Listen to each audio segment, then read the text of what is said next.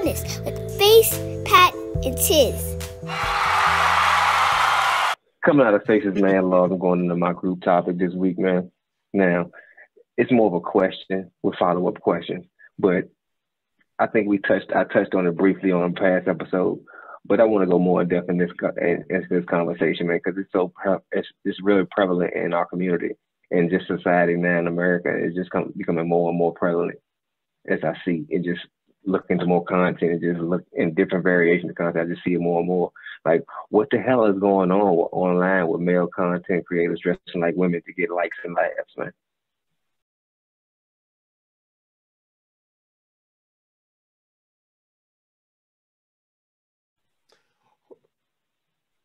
Oh man, this has been going on. like, like you talking about like recently, or just in general? In no, just in, in, in general, and it's just becoming more and more common. Like more and more, it's just like I, I see it a lot. And then you see, yeah, it's I know older, like the TikTok and younger, people, they, they, like like the little church lady people. Yeah, like yeah, I feel you. I feel you. Yeah, yeah. You, you feel like Elvis it, got the same robe. I feel you. Mm-hmm. Like my my first thing is it even funny? Um, if they're actually if if they're actually um how do I say it? If they're actually a homosexual or they're actually a person that feels that they are a uh, they connect more with the female gender as far as their actions and stuff, and that's their lifestyle anyway, then it don't bother me. I think it bother me if you're a straight like I I can't see a uh completely heterosexual. Yes, that's what I'm talking about. The straight man. Male doing that's what I'm talking about. That, yeah. I I can't completely say it ain't funny because I laughed at Big Momma's house. So it, it's like I can't completely say it ain't funny, but I was also younger and I didn't all all the way, you know, necessarily put together the context of that. It was also a different time where weird, crude stuff was funny, and that was always on. You had men on films. Men on films was funny as shit, but I don't know if they was were they gay? I don't even know. Man, I don't know. But sometimes it's funny. But I think is if you're a good comedian, you can make anything funny. So sometimes a good comedian can make something they didn't have to do, and they could have still been funny, but they'll do it with the dress on. But because they're a good comedian, it might come across still funny. Like Martin is a good comedian, so Big Momma's house was gonna be funny regardless of what else you replace Big Momma with. Could have, you know, what I mean, he's just a funny guy. So it's funny when he do it. Some of these dudes online, I've seen them do it, and it'd be like, "All right, what's the next video? All right, what's the next video?" Yeah. Mm-hmm. I, I, think I, I'm not a fan of it. I, I would rather that if you funny, you just be funny without putting on the dress. All the people in my life that I feel like are funny to me, I've never seen them in a dress.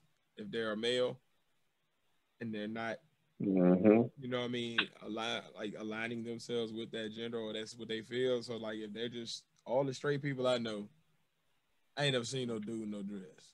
Uh, trying to say it in the right way, I don't know how you. I. I think you know what I'm saying. Like I don't know how to say the right terms or whatever the phrases is, but anyway, like all of the dudes that I hang with, I've never seen one in a dress, and I, I feel like a lot of them are hilarious. Yeah. So I, I don't think you got to do all that to make somebody laugh. I feel you. I I've never worn a dress, and I'm pretty sure I made somebody laugh before. Hey. Yep. well, you should come home just talking about your job and how it's rolling. Yeah. And not, and not once, not once did I ever see you in a, uh, you know, Yeah. no uh, mini Yeah, dress, man. no, no, no I weird, probably, shit. no sudden dresses mm, out I here. probably, I probably wore something weird, but not, not no dress. No. Man, 2003, we all wore I know. I I ain't never worn have no on dress. cut up jeans and shit. Yeah, mm. so you know, Like- it was a weird time. Was I uh, know- or a free, a free size tee, tee down to your goddamn shins and shit. You know, what I I've mean? done that. Yeah. Yeah, boy. Well, we dressed like some Yeah. dummies. Some comments like that. We dressed like Yeah, some boy. dummies. Now, with this dressing in ladies' clothing becoming more prevalent, do you think it's desensitizing the younger male generation to that type of content, or that and, and making that more normalized for them? Probably. I think if you see anything at a young age and you don't have context to it, then then that's that. But you know what I mean? Like I also feel like like I don't know. Like I think that's what parents are for. Like, cause usually if a kid has never seen that in their daily life and they see it on like a cartoon or like a, a, a like one of the little kids show on Disney or something with real kids or whatever, like they gonna come ask like, "Hey, daddy, how that little boy got on the dress?" Like you know, like my son, like no, for real, like, cause my son asks questions like that, like when we watch uh cartoons or something, if like something weird, like we watched uh Kipo, Damn you know, the little boy was uh was, right. was a Oh, homosexual, yeah. right? So like he had a boyfriend on there and shit, and JoJo, ah, and my son was like, "Daddy, Daddy, uh, why why this boy, why he why he keep why he why he falling in love with him like that? Why he keep doing that?" I straight up explained to you like, hey son, sometimes other people, you know, sometimes people love who they love, son. You know, I don't know. I was like, do you feel like that's what you want to do? He was like, no, daddy, that's nasty. That's his opinion of it. Like, but he go. also he also thinks he get sometimes if it's in public and we go to give him a kiss and it's in front of his homeboy, he might he kind of think that kind of come on, dad, that's nasty. So you know at this age, mm-hmm. like you know, all he want to do is hang with his homeboys. He he don't think of his own like that. He, he ain't thinking of nobody like that. He think I asked him, do you know are you do you want a girlfriend right now? He was like, you know, no, mommy, my mommy, my girlfriend. I'm gonna marry mommy. like you know, he, he, he ain't with all that yet. Like he ain't trying to holler at nothing yet. You know, he's six. He, he still think about uh, Bakugan and, Mhm. uh, Oh yeah. and uh, whatever the new on is that the kids be on for the week.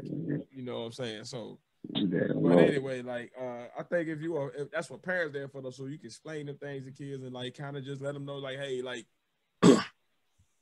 people do what they do. You check in with them, see kind of where their head is, and guide them through that. But like at this point in life, I'm gonna be real with you. People out and they doing what they want to do. Like y'all told me about a pagan community. I want y'all to think about that.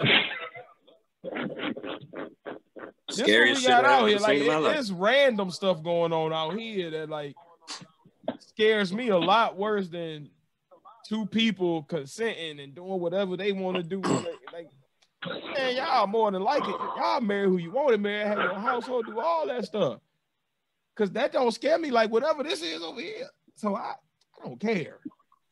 You know what I, I- mean? And I at this think it- point, it's an it's inevitable now that like it's gonna be like whoever you are, be out there, you be that, you be proud of it, and as long as you stand on who you are, people gonna respect you. Like at this point, like because the, the younger generation they don't really care no more. It's more just like who they like, hmm and who they like could be like a person that paint their eyebrows blue and wants to get married to a mailbox. But if the person is cool and they and the kids think that like the young people think, oh, they're a good person, like that's what they vibing off of. It ain't necessarily about the same hangups that we had. So like I don't care, man. Whatever they want to do, do that. You know what I mean? I I, I don't care, bro. I really don't care. Unless it crosses my threshold, I don't even have to deal with it to be honest. Like all I got to do is respect it. Make sure that they, hey, if a voting thing come up, or if it's time for them to make sure that they have their rights too, I want them to have every right that I want people that period to have all of their rights. Every person, period, in the world. Like everybody should have certain rights. That they, like do what you do, man. I respect it. As long as you stand on it, I can respect. Like I have friends that are, you know, gay. I have friends that probably have water dress. I don't know personally, but maybe it's possible. And it wouldn't be surprising. I grew up with a first cousin that is completely dressing up like makeup, like so. Eh, I don't care, man. Mm. To I this think- day, I none think- of that stuff has ever affected my life personally. So as long as they got their rights, I support it. I ride with respect it. Go do your thug thizzles. Mm. I still don't feel like you gotta wear a dress to be funny though. I definitely don't. It's not a necessity. See, we not talking. That's the thing. We're not talking about the other community. We just talking about heterosexual men that Mhm. doing this shit. No, I don't think they need to do it. But I think that the problem is it's an easy laugh because of the shock factor. I think that's really what it boils down to. Sometimes, like, if you can't think of nothing else and you're a good comic, but you can't think of no, like, you really don't know what to do, or you want them online comics, you can't think of a way to, like, present your material in an original way, you go for the easiest way to get a laugh and get a shock value. Huh. And it gives you a character so that you ain't gotta be yourself for a minute. But the fact that you would choose that, you know, God bless everybody, man. I'm gonna keep on being Tiz. The pod. I. I was, I was going to say, Faith. People different than me. I- Mhm. I was going to say, face. I think when it comes to media, no matter whatever the subject is, if media Mm. puts it up there, it's going to affect the generation a certain way, and it won't. But it'll probably be something minute, like they'll just get more used to it now.